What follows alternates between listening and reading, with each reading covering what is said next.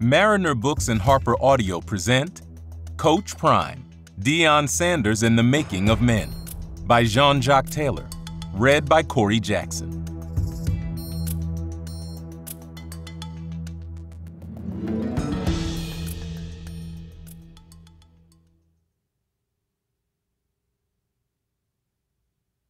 To my parents, Doris and Henry, who encouraged me to chase my dream of being a writer from the moment I spoke it into existence. To my mom's parents, William and Alberta, and my dad's parents, Henry and Ruth, for blessing me with wonderful parents. Prologue It was less than 10 minutes before kickoff when Jackson State football coach Deion Sanders Coach Prime, to his players, fans, and media, stood atop a two foot high blue crate and addressed his players in the locker room. Coach Prime knew that if the Tigers didn't beat Southern University in the Southwestern Athletic Conference championship game at Mississippi Veterans Memorial Stadium, this would be the last time he'd ever address these players before a game.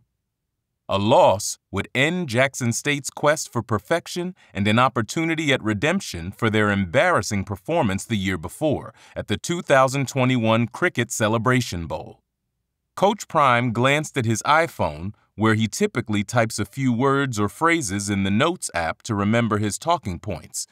He prides himself on authenticity and at times speaks with an old school Baptist preacher's cadence and passion. But he likes to stay on message often speaking in repetition for emphasis. This time was no different. Every word that came from Coach Prime's mouth was not only intentional, but loaded.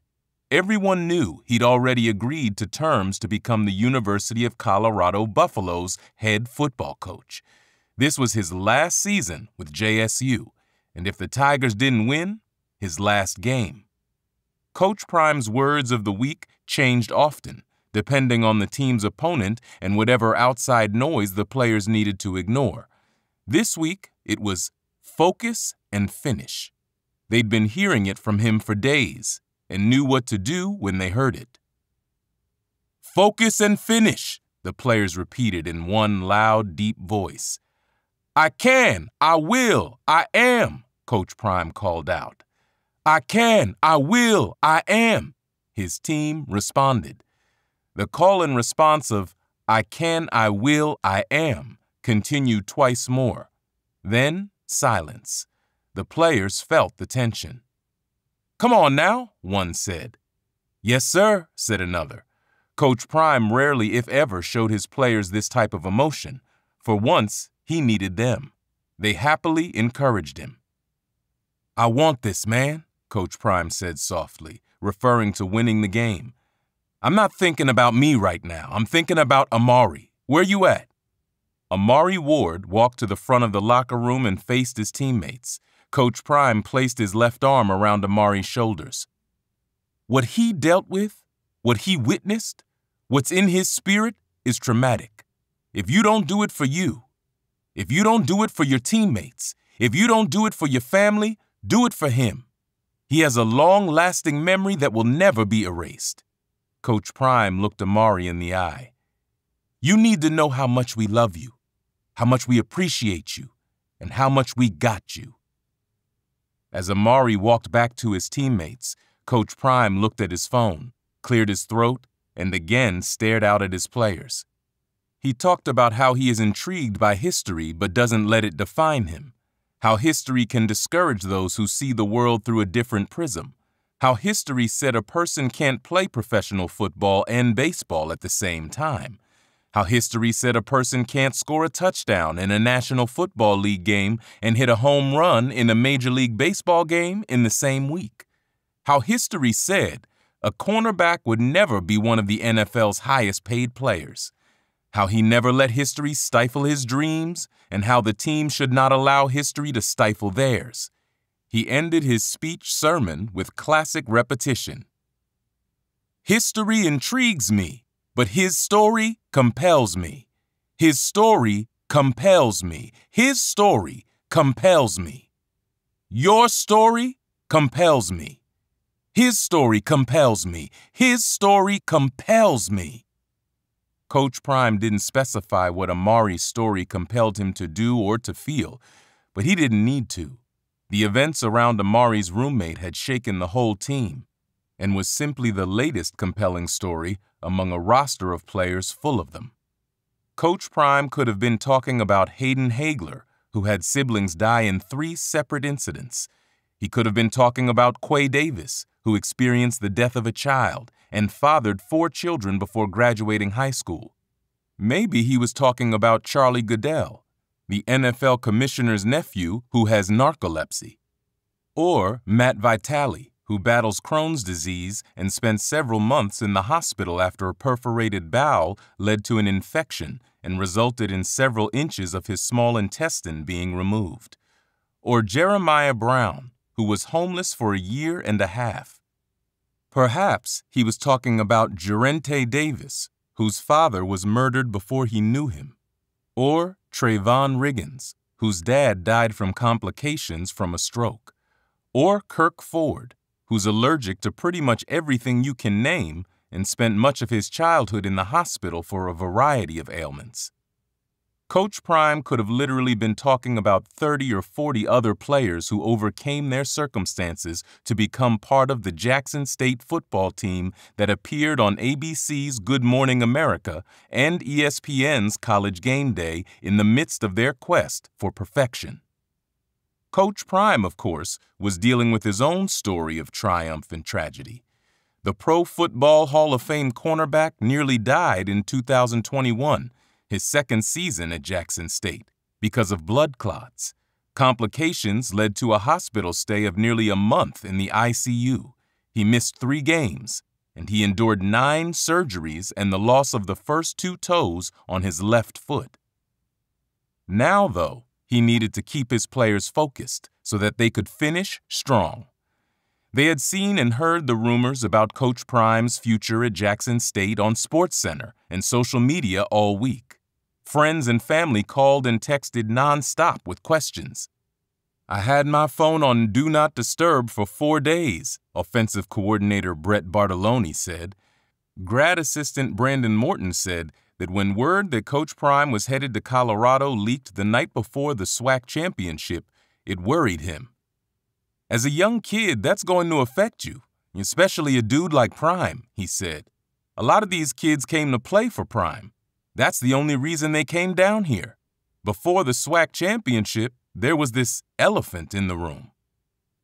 Still, Morton was optimistic about the Tigers winning. They had beaten Southern University 35 to 0 a month earlier, and he believed they would win as long as they didn't implode. After all, JSU had the nation's number one defense, allowing only 11.1 points and 255.9 yards per game. Their offense, averaging 37.8 points per game, had only six scoreless quarters all season. Quarterback Shedeur Sanders was the SWAC's Offensive Player of the Year. Linebacker Aubrey Miller Jr. was the Defensive Player of the Year, and receiver Kevin Coleman Jr. was the Newcomer of the Year. JSU had everything it needed to dominate, which had been its mission all season. Coach Prime had established a culture of work and discipline and a disgust for mediocrity and complacency. Now, it was time to see if the players truly embraced all the lessons he had preached about consistency, discipline, and focus. He had drilled into them all season that men ignore distractions and focus on the task at hand. Let's go out there today and write his story, he said, and we'll deal with the history later. You with me? Yes, they replied. Part 1 Chapter 1 It was just the grace of God. JSU President Thomas K. Hudson. The union between Jackson State and Deion Sanders was a symbiotic relationship from the start. Jackson State needed Coach Prime to resurrect its moribund football program, and Coach Prime needed Jackson State to become a head football coach. Jackson State, one of the SWAC's premier football programs, had fallen on hard times after hiring four head coaches and four athletic directors in eight years. The program had not won a SWAC championship since 2007. It hadn't had a winning season since 2013, going 23 and 44 in that span. In 2019, Jackson State went 4 and 8 and finished fourth in the East Division. From 1971 to 1999, JSU won nine games 11 times. In 1978 and 1996, they won 10 games, the most in school history. Four players, Walter Payton, Jackie Slater, Lem Barney, and Robert Brazile, are in the Pro Football Hall of Fame, and JSU has 18 SWAC football championships.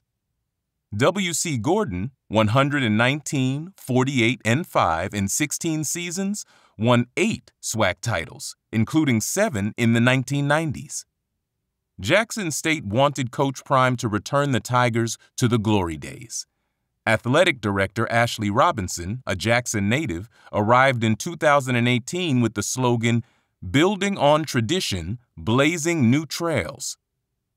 Like most folks who grew up in Jackson, Robinson attended football games at the Vet, which is what the locals call JSU Stadium, as a kid, and the university had been a presence in his life for as long as he could remember. Robinson averaged a double-double as a high school senior, but it wasn't good enough to get a scholarship offer from the one school he wanted, Jackson State. The six-foot point guard played at Mississippi Valley State and became Valley's all-time leader in assists. After his athletic career, Robinson began a career in compliance and administration. Valley named him athletic director in 2012. Jackson State passed on him again in 2015 when it didn't hire him as athletic director. In 2018, Jackson State fired Wheeler Brown and the prodigal son returned home. Athletic directors are judged by their hires in football and men's basketball. Robinson's football hires at Prairie View A&M University, Willie Simmons and Eric Dooley, were excellent. Simmons led Prairie View to consecutive winning seasons for the first time in 51 years. That gave JSU confidence Robinson could find the right coach to make the program strong again. Robinson didn't give John Hendrick a new contract at the end of the season, so he needed a coach. He was watching the NFL Network one fall afternoon in 2019 when he saw Coach Prime say he wanted to be a head coach in college football. I was sitting here with my assistant VP of business operations and I said, What do you think about Deion Sanders? Robinson remembered. Robinson's first conversation with Coach Prime was a doozy. He had researched JSU's recent football struggles and he provided solutions for its problems, while sharing his vision for how to make JSU an elite program built on old school principles. Hiring Coach Prime would ensure Robinson went down in the annals of Jackson State and college football history as the man bold enough to make college football's most innovative hire. The scrutiny would be intense, and if Coach Prime didn't work out, the criticism would be searing. Robinson, though, ain't never been scared or passive, and if hiring Coach Prime worked the way he envisioned, each man would elevate. Coach Prime had learned from his successes with Truth, his youth football and baseball organization, which he patterned after the Fort Myers Rebels he played for as a kid. Truth stood for trust in God, respect myself and others, understand I have unlimited possibilities, try my best and never give up, honor myself and the truth creed at all times. He also learned his failures with Prime Prep Academy, a charter school focused on elite football and basketball. Prime Prep, which he co-founded in 2012, closed in 2014 because of a litany of financial, legal, and regulatory issues, Patience is the one thing he learned from the Prime Prep experience. He was in such a hurry to make an impact, Coach Prime rushed through some steps in the vetting process that would have prevented Prime Prep's issues. When I see what needs to be done, I think oftentimes everybody sees it the way I see it, he said. Not oftentimes they do, so that affects your patience because you got vision. Aside from the coaching opportunity, being at an HBCU intrigued Coach Prime because of America's turbulent times. George Floyd, an African American man, had been murdered in Minneapolis on May 25, 2020, during an encounter with police. The 46 year old Floyd had been arrested after a store clerk accused him of using a counterfeit $20 bill. While Floyd was being detained, Officer Derek Chauvin, who is white, knelt on Floyd's neck with his knee for more than nine minutes. Two other officers, J. Alexander Kueng and Thomas Lane, helped restrain Floyd. We hope you enjoyed this preview.